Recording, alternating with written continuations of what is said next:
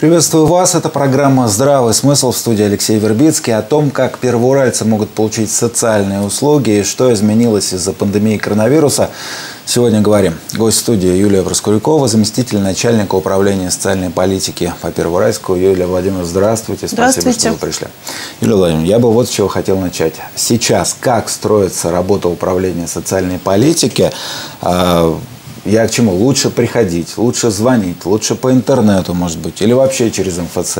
Хотя я знаю, что там тоже нагрузка запредельная по предварительной записи и сложно дозвониться. Вот как проще всего? -то? Ну да, сейчас действительно определенные сложности в этом смысле есть. И Никуда мы от них не уйдем. Мы обязаны соблюдать ограничения, которые введены указом губернатора. В нашем управлении, так же, как вы упомянули, МФЦ, ограничен прием граждан. То есть прием граждан осуществляется, он не прекращен, но граждане принимаются исключительно по предварительной записи, это во-первых.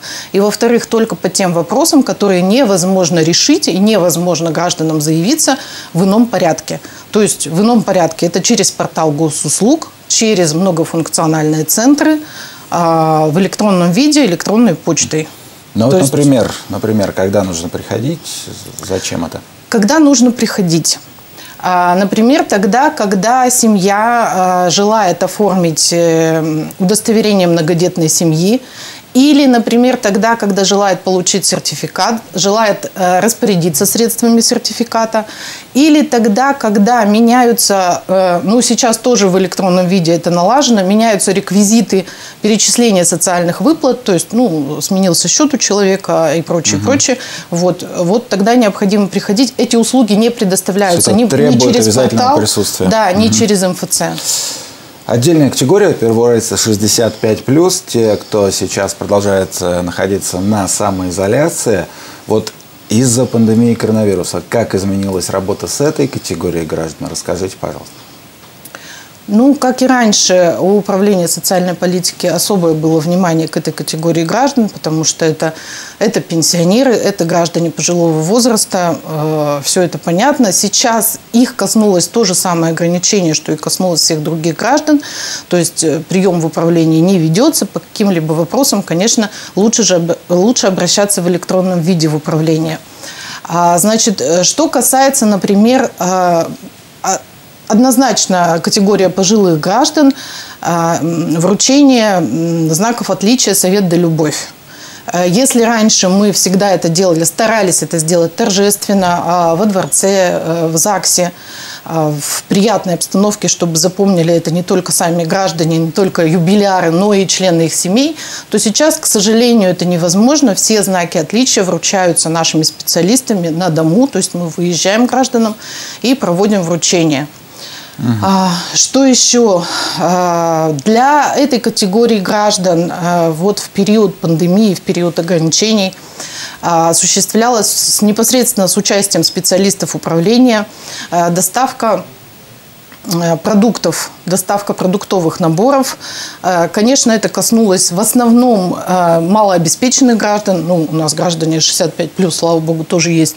И обеспечены достаточно хорошо и не очень хорошо. Конечно угу. же, мы старались обеспечить все-таки тех граждан, кто действительно нуждается в поддержке. Вот. Но это, эти продуктовые наборы, они предоставлялись единоразово. Это были благотворительные акции. Как правило, категорию граждан, кому они предоставлялись, оговаривали сами благотворители.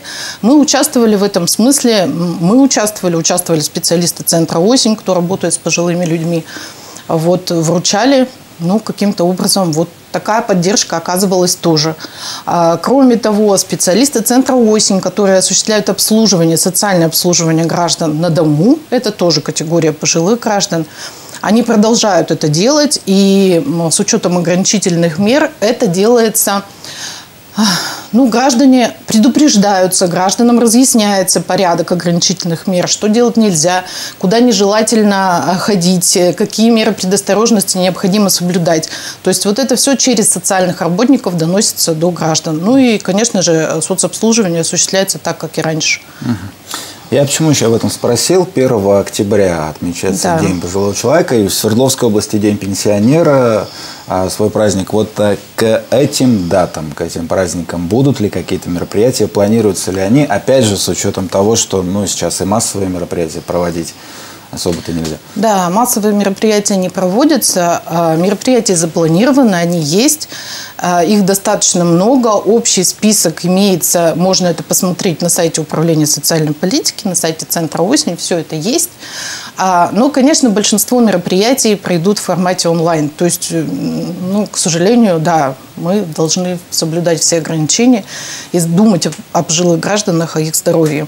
А пенсионеры, я, извините, перебью, они смогут участвовать онлайн? Как вот вы рассчитываете? Они вообще э, завсегда-то интернета теперь в Первоуральске? Ну, есть, конечно. Есть э, часть граждан. Конечно, это не все, само собой. Э, невозможно охватить 100% э, всех граждан, но есть. У нас ведь надо понимать, что в центре осень вообще очень много лет успешно работает школа пожилого человека, где как раз-таки обучают пожилых граждан компьютерной грамотности. Угу. Очень многие сейчас пожилые граждане в курсе всех новых тенденций и успешно пользуются интернетом. Успешно. Поэтому мероприятия, которые запланированы, да, они будут проведены. Кроме мероприятий, э, которые можно посетить онлайн, поучаствовать онлайн, различные там концерты и прочее, прочее, ну, можно посмотреть весь список на сайтах, э, будут предусмотрены скидки в магазинах. Это традиционно к этим праздникам.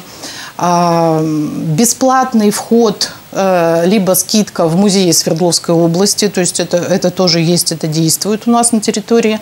Угу. Ну вот, пожалуй, что и все. Ну, может быть, не все назвала. Хорошо.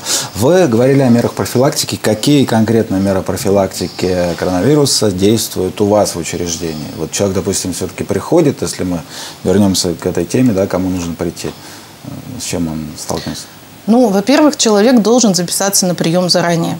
То есть мы должны распланировать прием граждан таким образом, чтобы они у нас не толпились, не сталкивались.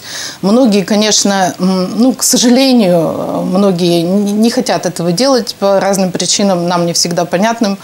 Э, приходят без всякой записи, требуют их принять.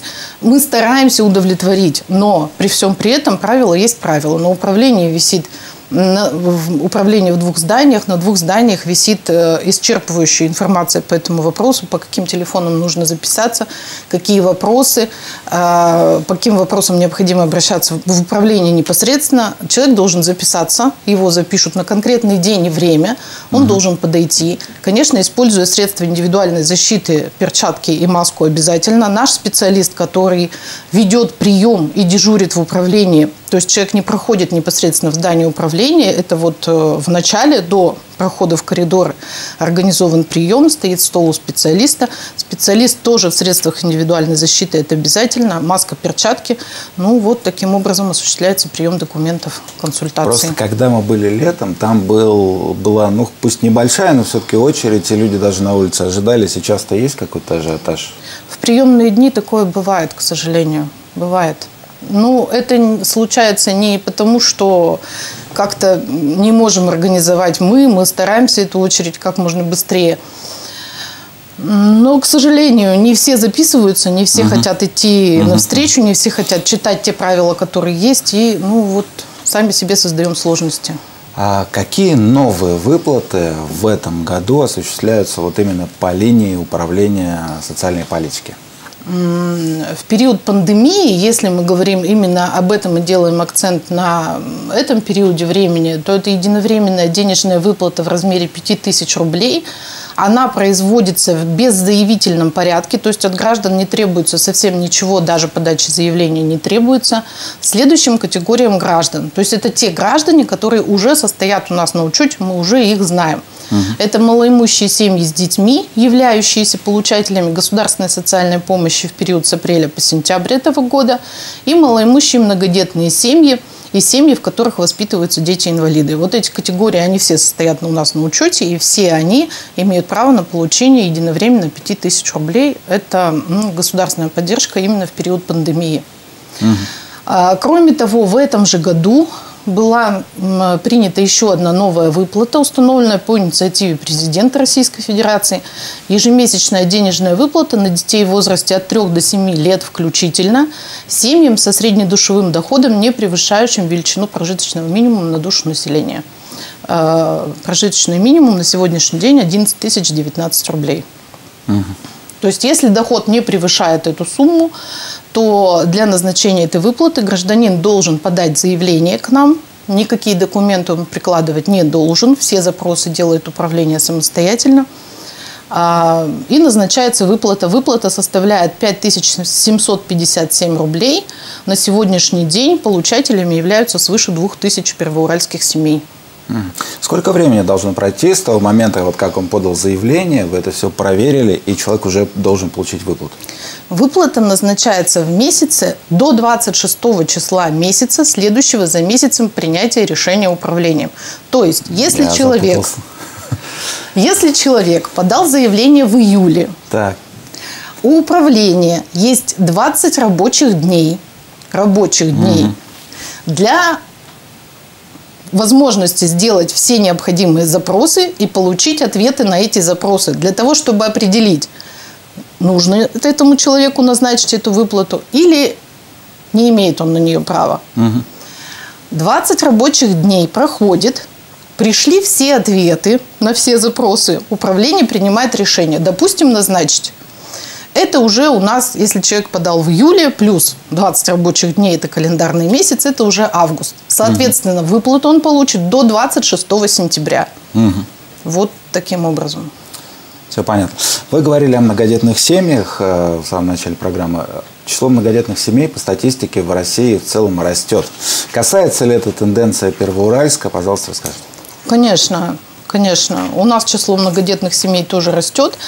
А если мы будем сравнивать с 2017 годом, ну вот у меня на сегодняшний день э, данные на 1 декабря 2017 года у нас на территории было 1739 многодетных семей, то на 1 июля 2020 года многодетных семей 2218. Mm. Достаточно Неплохо. Хороший весомый рост. В чем заключается поддержка многодетных семей вот, э, со стороны управления соцполитики, опять же? Ну, управление соцполитики э, – это исполнительный орган государственной власти. Э, мы исполняем те законы, которые приняты в Российской Федерации и в Свердловской области, как субъекте Федерации. А, в первую очередь это меры соцподдержки, предусмотренные законами. Ежемесячное пособие на проезд, если все перечислить кратенько – компенсация 30% расходов на оплату коммунальных услуг. Угу. Бесплатное обеспечение лекарственными препаратами детей в возрасте до 6 лет в фармацевтических организациях по рецептам врачей. А, бесплатное питание, завтрак или обед на каждого ребенка, обучающегося по очной форме обучения в государственных общеобразовательных организациях. Бесплатное посещение областных государственных музеев. Э, первоочередное предоставление детям мест в дошкольных учреждениях. Кроме того, что касается выплат, для многодетной семьи, имеющей средний душевой доход ниже двукратной установленной в Свердловской области величины прожиточного минимума, а, на ребенка до достижения ребенком возраста трех лет определена выплата а, в размере прожиточного минимума. На сегодняшний день прожиточный минимум на ребенка 11 696 рублей. Mm. То есть до достижения возраста трех лет многодетная семья имеет право э, ежемесячно получать вот эту выплату на ребенка. А, кроме того, компенсация расходов на приобретение комплекта одежды для посещения ребенком общеобразовательной организации, но в сумме не более 2000 рублей, тут есть определенные ограничения. А, освобождение от налога на земельный участок – ну и, наконец-таки, то, что делается только управлением и никем больше, а, областной материнский капитал для многодетных семей. А, на сегодня размер капитала составляет 141 227 рублей. Ну, тоже внушительная такая сумма. Хорошо. Спасибо вам за беседу. Спасибо телезрителям. Будьте здоровы, берегите себя. Всего доброго и до встречи.